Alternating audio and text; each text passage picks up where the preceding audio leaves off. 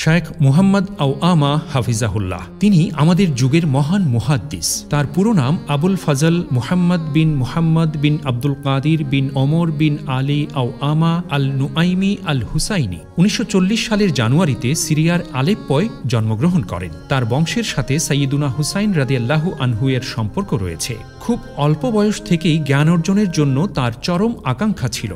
তিনি উনিশশো তিপ্পান্ন সালে শায়েক মুহাম্মদ সালকিনী রহমতুল্লাহি আলাইহি দ্বারা পরিচালিত শিক্ষাঙ্গনে জ্ঞানার্জন শুরু করেন। পরবর্তী জীবনে তিনি শায়েক আবদুল্লাহ সিরাজউদ্দিন এবং উনিশশো সাল থেকে যুগশ্রেষ্ঠ মুহাদ্দিস ফকি Sheikh Abul Fattah Abu Ghudda রহমতুল্লাহি আলাইহি এর অধীনে অধ্যয়ন শুরু করেন। এক পর্যায়ে তিনি Sheikh Abul Fattah Abu Ghudda রহিমাহুল্লাহ এর সবচেয়ে প্রিয় ছাত্রদের একজন হয়ে ওঠেন। উনিশশো উনষাট সালে তিনি মিশর ভ্রমণ করেন। সেখানে তিনি শেখ আহমদ আল ঘুমারি রহমতুল্লাহি আলাইহি, শেখ আবদুল্লাহ আল ঘুমারি রহমতুল্লাহি আলাইহি, শেখ আব্দুল ওয়াহাব, আব্দুল লতিফ রহমতুল্লাহি আলাইহি এবং শেখ মুহাম্মদ আব্দুল জাহরার মতো বিধগ্ধ আলেমদের কাছ থেকে জ্ঞান অর্জন করেন।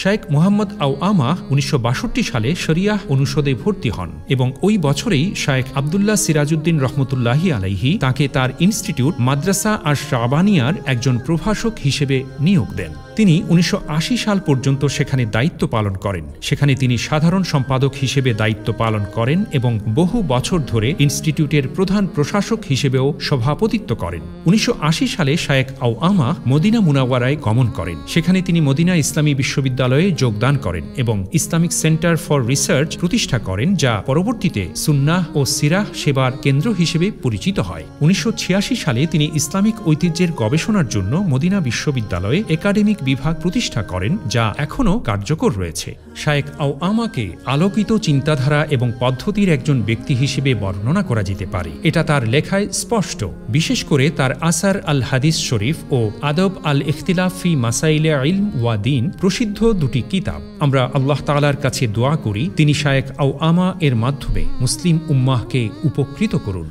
আমিন।